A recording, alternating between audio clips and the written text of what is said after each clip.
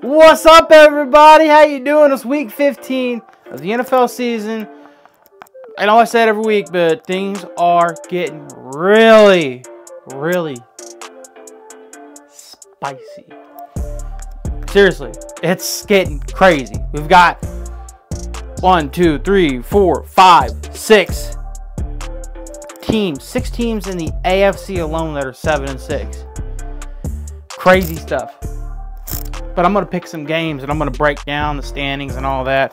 But before I get to all that, I want to introduce you to the newest member of the McMichael family. This is Sushi. Look how cute he is. Hi, Sushi. Hi. Is to say, everybody? Yeah, is to say, everybody?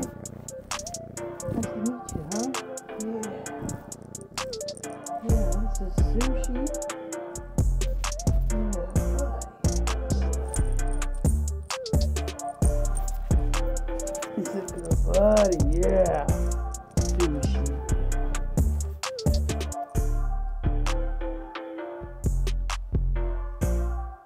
Look at him.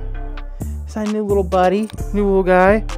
We adopted him from the uh, shelter, the animal shelter in Noblesville. I'm sorry, I forget the name of the shelter, but yeah, this little guy came home with us and we named him Sushi. He's a good little guy.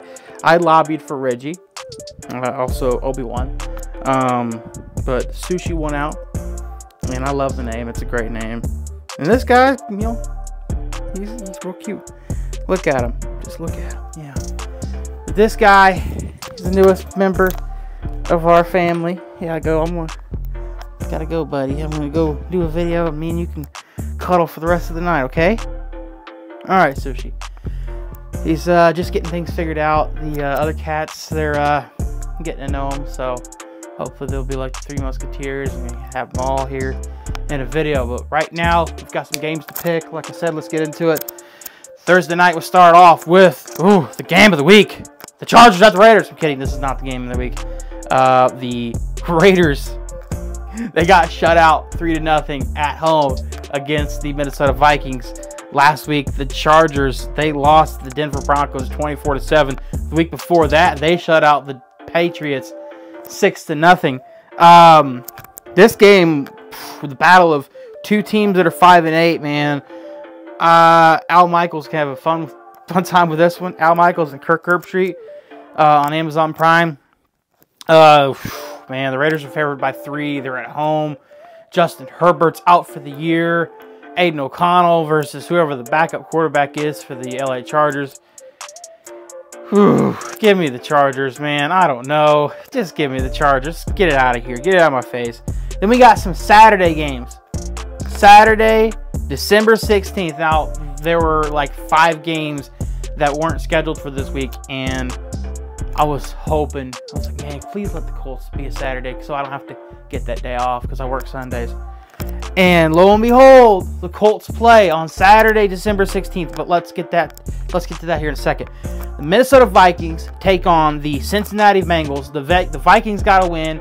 Like I said last week, the Bengals, they also got to win. They beat up on my Indianapolis Colts. So the Bengals are at home. They're favored by three. Zac Taylor's trying to rally the fans, trying to get them all riled up for this Saturday afternoon game, and I, I think they take care of business. I think Cincinnati Bengals, I, I, they're up favored by three. Right now, Jake Browning's playing really good football, and they're running the ball pretty well.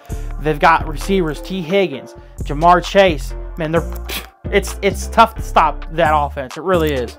Um, then we've got the 4:30 game. The Indianapolis Colts take on the Pittsburgh Steelers. Now this game is huge, has huge impl playoff implications.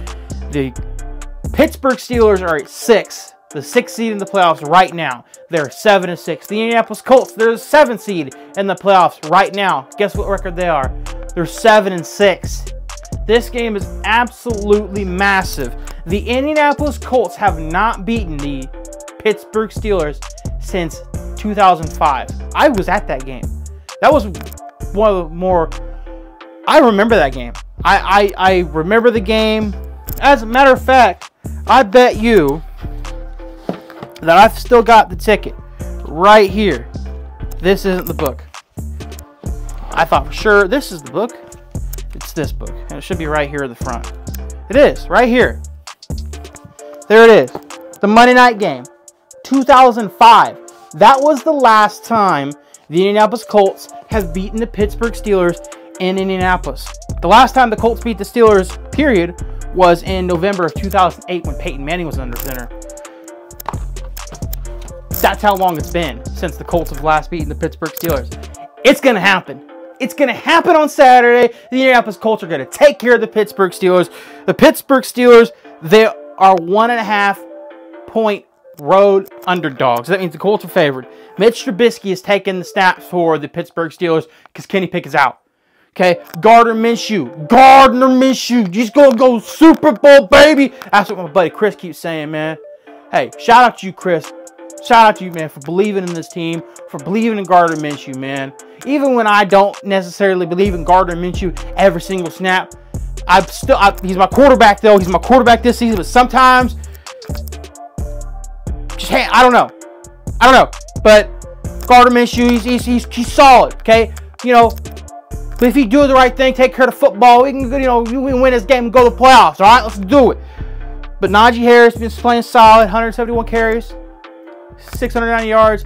Look, this is a big game for the Colts. This is an absolutely big game for the Colts. The Colts need to win this game, and I think they do. I think the crowd is going to be bumping. I'm talking too much about this game. That's why I stopped talking about the stats because I, I, I forgot. This isn't my Colts Steelers breakdown. This is my picks of the week. This is my week 15 picks. So Colts are going to win this one, okay? Now, the Denver Broncos, is the night game. This is actually a pretty solid game.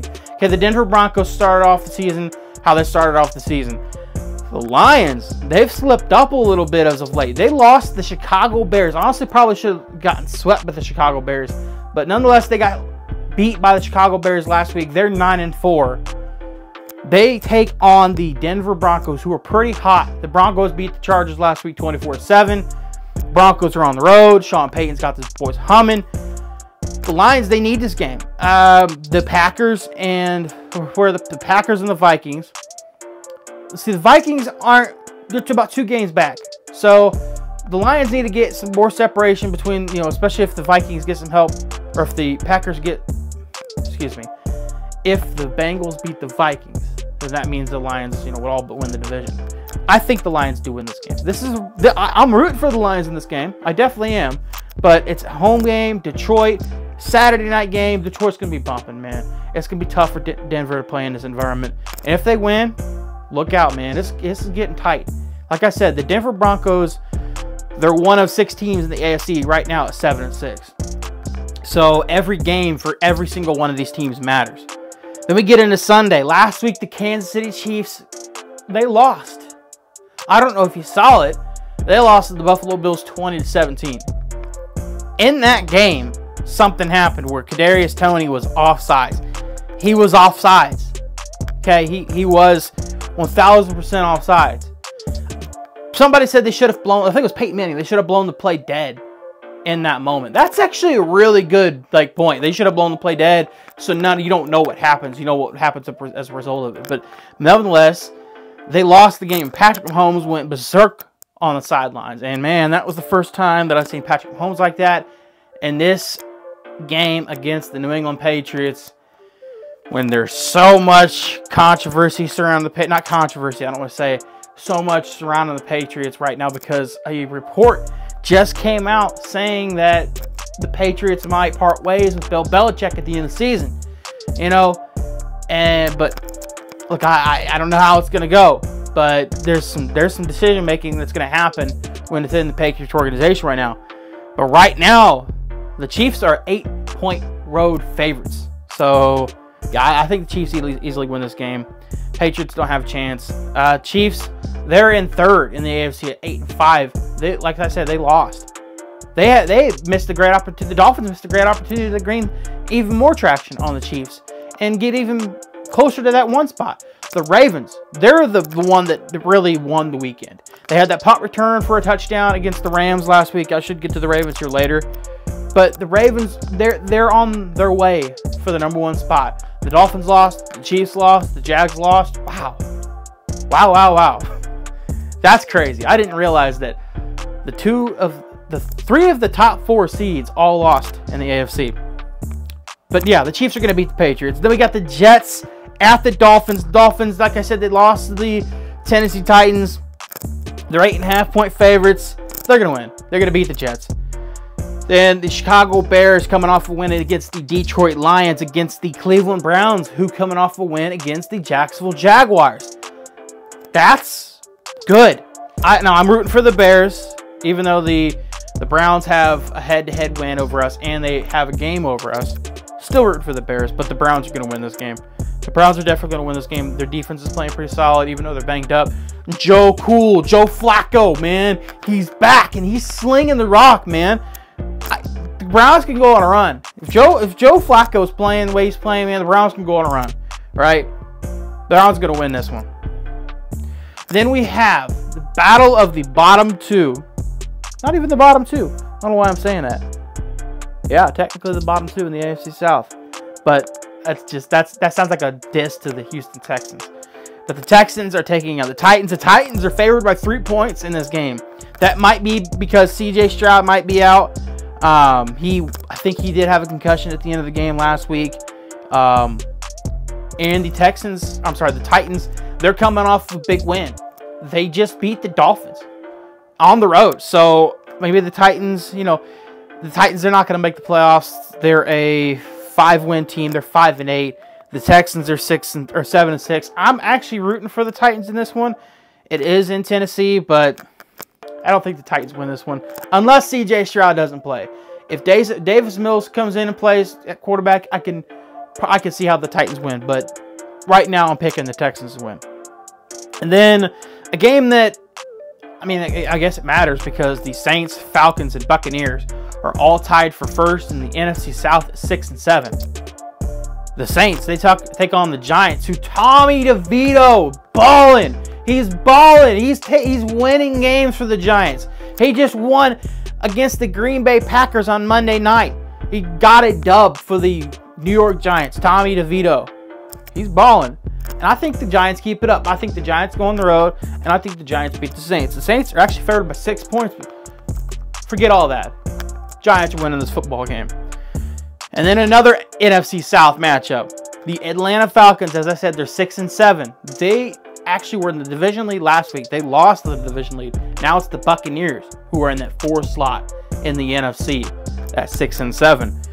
But the Falcons take on the Carolina Panthers in Carolina. The Carolina Panthers, the worst team in the league, they've been eliminated from the playoffs for a couple weeks now. They're one and twelve. No chance the Carolina Panthers win this game. The Falcons are gonna, they're gonna, they're gonna win.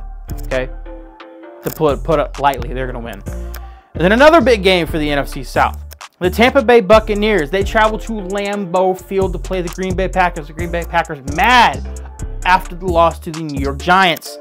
At Lambeau, they're favored by three and a half. This is a big game because the Green Bay Packers are the seventh seed in the playoffs right now at six and seven.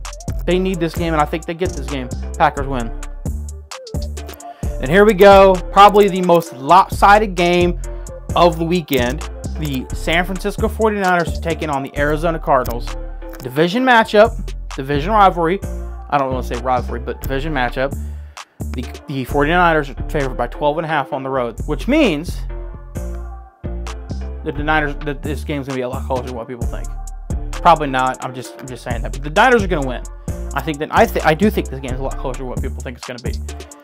Just the fact that they're division opponents. The Niners, they've actually clinched a spot in the NFC playoffs right now. They're 10 and 3. They're one of three teams in the NFL who have 10 wins already.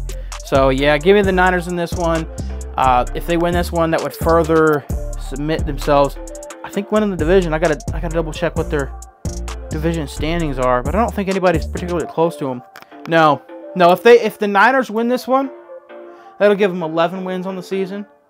They will win the division. If the San Francisco 49ers win this game against the Arizona Cardinals, they will win the division. But yeah, go ahead and give me the San Francisco 49ers. Then we've got the Washington Commanders traveling to the LA Rams. Rams, they're playing pretty well. They're playing good football. Let's see what the Rams are here. They were three and two in their last five. They did lose to a really good Baltimore Ravens team, but they put it to them. Okay, they gave the Ravens all they all they could handle. And the Rams did not come out on top. They're playing the Commanders this week, though. The Commanders, they're four and nine. The Rams, they're on the outside, just right there at the eight seed, on the outside looking in at six and seven. They're hoping the Packers slip up uh, against the Tampa Bay Buccaneers. The Rams, I think they get a win here. I think they win and advance to seven and seven. And then we're oh, this might be one of the, this might be the game of the week. This might be the game of the week after the Bills. I counted the Bills out. Okay, they were six and six, and I thought the Chiefs were going to win, which would put them at six and seven and would pretty much eliminate them from the playoffs. But they won themselves a huge football game. No matter how they won it, they still won the football game. The Buffalo Bills are in it, and they're favored by two and a half against the Dallas Cowboys, who now lead, now for the moment, lead the NFC East. Now, if the Cowboys went out and the Eagles went right now, right now, the Cowboys have a better division record. But if the Cowboys went out and the Eagles went out, the Eagles will have a better division record, therefore winning the division, which will put the Cowboys at a wild card spot. Cowboys, they're on the road at the Buffalo Bills. Now, I think the Cowboys are absolutely humming. I think they are a wagon, regardless of whether at home or away. If they get home field advantage, not necessarily like over the 49ers, but if they win their division, the Cowboys can go on a run to at least the NFC Championship. You know, that's the minimum. But if they are on the road, if they're a wild card team, and you have to go to uh, to to go to Philadelphia or go to San Francisco, it's going to be a lot tougher to go on that run. But huge game, and I think Dallas wins. I think it, Dak Prescott right now is playing at an MVP level. I think I think the Cowboys they just feel different this year. They don't feel like the, the same old Cowboys. But we'll see. Only time will tell. But I think the Cowboys get a really, really big win against an AFC opponent. 425. That game is. You can make an argument for both these games. The Sunday night game was the Baltimore Ravens at the Jacksonville Jaguars. I I would say that this game would all but cement the Ravens at the top of the AFC if they were to win this one. The Ravens are actually three point road favorites. So I'm actually taking the Ravens in this one. I think the Ravens go on the road against the banged up Trevor Lawrence. You know, he twisted his ankle a couple weeks ago or whatever he did. He came back against the Browns and they lost. So I'm actually thinking the Ravens come on the road and they win. Big, big game for really the whole landscape of the AFC. So we'll see what happens. Then we finish it out with Monday night. Now the, the Cowboys fans are going to be rooting for the Seahawks hardcore, but I don't see it happen. The Eagles at the Seahawks. Eagles four point favorites.